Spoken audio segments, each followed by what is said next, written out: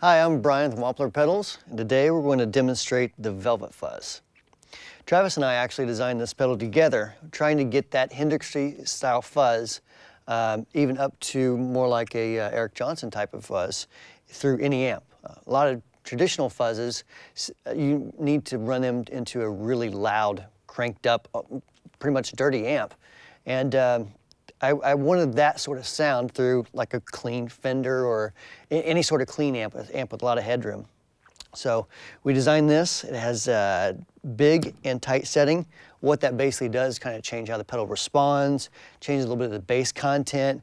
Uh, the big setting is going to make it a little more spongy-ish, and the tight setting obviously is going to be tighter.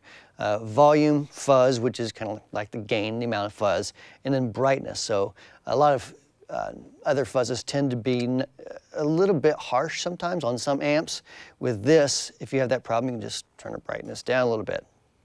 So with that said, Travis is going to play a few examples, and I'll give you, we'll give you a clean tone first, and um, I'll kick the pedal on and turn some knobs.